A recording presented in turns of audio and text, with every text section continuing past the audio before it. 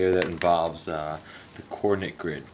And what they might do is give you some kind of shape with these points. That's the dots right here. And you can tell what the points are instantly, usually because right next to the point will be some type of letter. So here they put S and R and T, or typically write R, S, T, like the alphabet.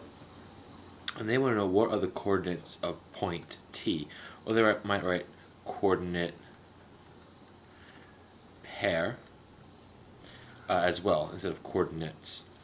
And here's t right here. And they give you all these choices. The format for a coordinate is usually written in parentheses. And then in those parentheses, the first number will be the number that you go to from the origin at 0, um, left or right on the x-axis. And the second number, after the comma, is y. And, and y is the number that represents where you go up or down on the uh, y-axis. Now, this the x is the fancy name for that is the ordinate, and the y is the abscissa. But I think it makes a lot more sense just to refer to them as the x and y coordinate values. So t is over here, and to figure out how to get there, we just should remember, first of all, that the x direction comes first. And this, I think, is derived from the idea of science, where we have time, for example, on the x, and then temperature on the y, where x usually comes first because this is where we usually put our independent variable, in this case time. As time goes along, the temperature is either rising or falling based on, well, the temperature is based on the time. So the y is second, it's the dependent variable, and that carries over into this coordinate plane right here. So we start at the origin, always start there, and we go left on x to 4. So that means negative 4, right? We're going left, sorry, I said 4. This is negative 4, comma.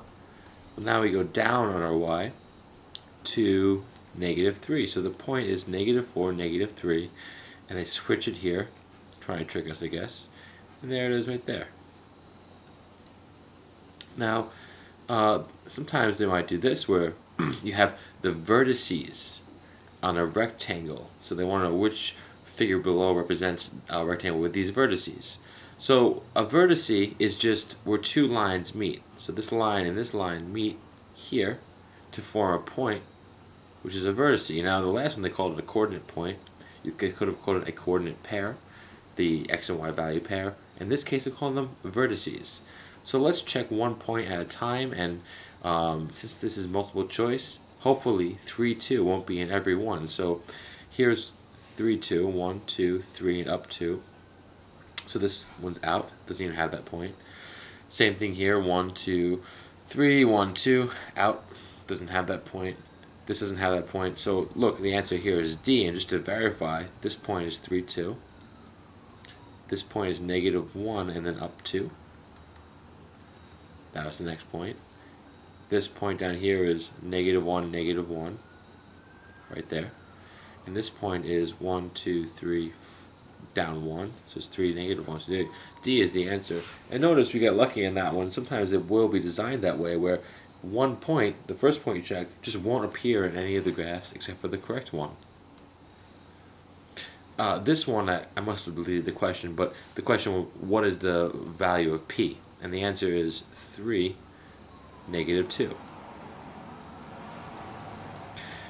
Most common mistake is perhaps to switch that, to say negative 2 first, then 3. Just remember that's not correct because the x-axis comes first. It's the independent axis.